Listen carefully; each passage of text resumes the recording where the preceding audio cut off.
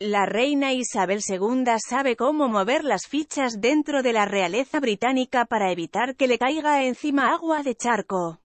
Durante sus 69 años de reinado, la monarca, de 95 años, ha aprendido a actuar cuando corresponde y si tiene que sacar del medio a algún miembro de su familia real, lo hace sin que le tiemble el pulso. Algo similar acaba de suceder con el príncipe Andrew, de 61. El duque de York fue destronado del cargo de patrocinador real de la Royal Philharmonic Orchestra que había defendido anteriormente. Su lugar ha sido ocupado por su hermano mayor y heredero al trono, el príncipe Carlos de 72. La Royal Philharmonic Orchestra se complace en anunciar que el príncipe de Gales ha aceptado una invitación para convertirse en patrono de la orquesta, dijo la organización. El príncipe de Gales tiene una asociación de por vida con las artes. Durante la pandemia, Su Alteza Real habló sobre la importancia de proteger las artes, enfatizando su enorme importancia para la vida en el Reino Unido y para la economía, destacó.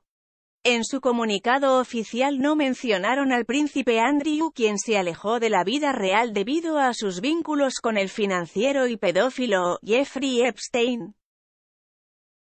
Epstein apareció ahorcado en su celda del Metropolitan Correctional Center, en Nueva York, el 10 de agosto de 2019. Era acusado de múltiples abusos y de montar una red de tráfico de menores con fines sexuales.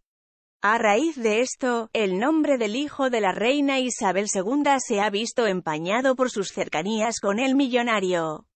Se dice que el reciente movimiento en la realeza se debe a que todavía no se han esclarecido las cosas entre el duque de York y Epstein.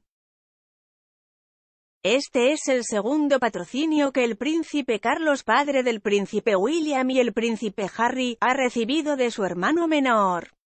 Carlos se convirtió silenciosamente en el patrón de la Catedral de York Minster en noviembre de 2020. No hubo ningún anuncio oficial, pero el sitio web de la familia real actualizó sigilosamente su lista de patrocinios.